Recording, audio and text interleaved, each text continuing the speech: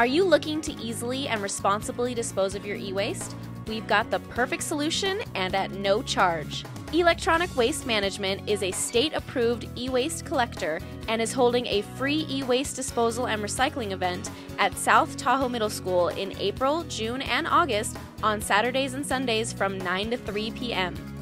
Now's your chance to unload your unwanted electronics and protect the environment at the same time. So pack up your car and come on down to South Tahoe Middle School.